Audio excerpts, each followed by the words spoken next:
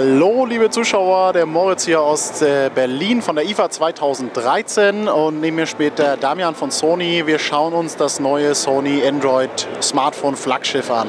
Ähm, letztes Jahr gab es auf der IFA, nee, zur CES gab es äh, das äh, Xperia Z zu sehen, was sich auch sehr gut verkauft hat, nehme ich an. Zumindest in meiner Wahrnehmung war das eines der beliebtesten Android-Smartphones. Ähm, berechtigterweise, weil super Haptik, super Aussehen, äh, tolle Features.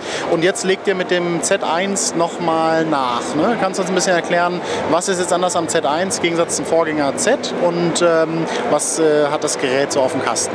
Ja, also wir haben hier das Z1 vorgestellt, das äh, zweite quasi in der Xperia-Familie. Wir haben jetzt mit dem Z quasi den Nachfolger eingeläutet und äh, was wir jetzt im Vergleich zum Z äh, nochmal verbessert haben, wir haben jetzt einen Aluminiumrahmen mhm. hier gewählt, damit sich das Gerät noch wertiger und noch besser anfühlt und natürlich auch widerstandsfähiger ist, weil, wir sind ja ehrlich, man benutzt dieses ja. Gerät sehr, sehr stark im Alltag. Ist auch äh, komplett wasserdicht, ne? Genau. Es ist komplett wasserdicht nach IP55 und 58. Das heißt, ich kann jetzt damit auf 1,50 Meter Wassertiefe für 30 Minuten gehen. Mhm. Und ich habe auch weiterhin vorne und auf der Rückseite Mineralglas mit einer entsprechenden Bruchschutzfolie, damit ich mich bei Glasbruch cool. dann nicht schneiden kann. Was steckt drin an Hardware? Prozessor, Display? Genau. genau. Wir haben hier einen Snapdragon 800 der neuesten mhm. Generation. Wir können damit mit 150 Megabit im Internet surfen.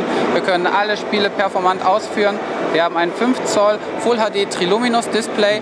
Die Technologie kommt direkt aus unserer Fernsehsparte. Das heißt, wir haben einen erweiterten Farbraum und können Bilder in richtig, richtig toller Qualität genießen. Cool. Und, äh, und wo du von Bildern sprichst, äh, die Kamera soll ja auch irgendwie jetzt so das Sahnestück sein in dem letzten Teil. Ne? Vielen Dank für die Vorlage. Also wir haben hier bei der Kamera eine 20,7 Megapixel G-Lens mit verbaut. Mhm. Die hat einen Exmor A-Sensor oder Exmor AS-Sensor und einen Bions Bildprozessor. Das heißt, in dieser Dreierkombination haben wir die besten Komponenten, die unser Smartphone sich wünschen kann. Okay, eine Sache fand ich noch sehr interessant auf der Pressekonferenz. Ich kam mit dem Ding auch live äh, streamen mit dem Handy. Ne? Äh, kannst du dazu noch ein bisschen was erzählen?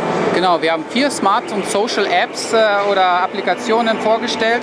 Zum einen Social Live, damit kann ich für 10 Minuten live auf Facebook streamen und meinen Freunden und meiner Familie quasi mitteilen, was ich gerade erlebe. Sie können zurück kommentieren, sie können zurück liken und mich quasi begleiten bei dem, was ich gerade Schönes erlebe. Okay. Dann habe ich InfoEye, damit kann ich Sehenswürdigkeiten in, zum Beispiel in fremden Städten direkt, während ich draufhalte, äh, abfotografieren und mich darüber informieren, mhm. was da jetzt vor mir steht. Oder zum Beispiel bei einer schönen Flasche Wein, wenn ich gerade einkaufe, mir Tipps holen, was ich denn jetzt für ein Menü dazu ja. koche. Mhm.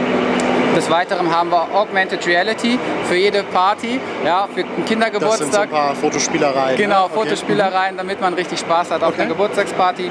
Und äh, last but not least haben wir Timeshift Burst. Damit machen wir in zwei Sekunden 61 Bilder. Serienaufnahmen. So genau, Serienaufnahmen. Das richtige Bild aussuchen. Damit ich das richtige. Bild dann in meinem Daumenkino mir cool. aussuchen kann. Ähm, Knackpunkt an der Sache noch, was soll es kosten? 6,49 ist der UVP. Und erhältlich ab? Im September noch. September, alles klar. Danke dir.